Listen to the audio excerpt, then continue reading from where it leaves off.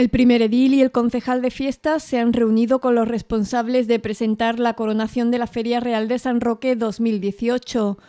Elena García Leiva y Salvador Serrano son veteranos profesionales de la empresa municipal multimedia y ambos han presentado distintas coronaciones en los últimos años, incluyendo algunas de la Feria Real. Por su parte, Arturo Bautista está despegando en su faceta artística y a finales de junio sorprendió gratamente con su buen hacer durante la inauguración de la Plaza por la Igualdad.